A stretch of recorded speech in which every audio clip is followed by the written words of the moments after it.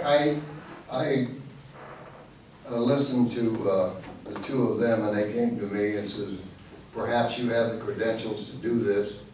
I, I'm, I'm willing to make a stab at it, and uh, I, uh,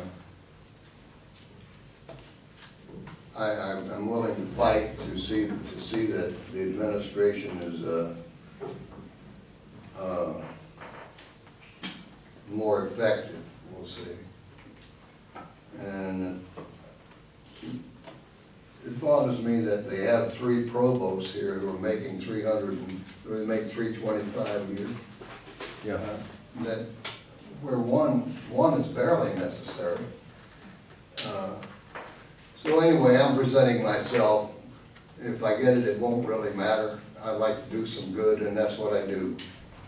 Thank you very much. Okay, we have a